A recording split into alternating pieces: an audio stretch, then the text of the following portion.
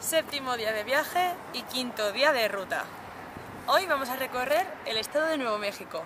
Nos hemos levantado en Tucumcari y bueno, lo primero que hemos visto ha sido este gran mural.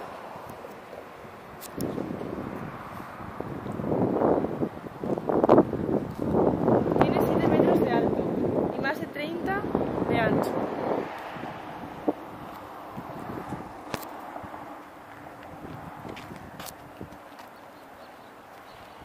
Hoy, entre otras ciudades, veremos también Santa Fe y Albuquerque y dormiremos en Gallú.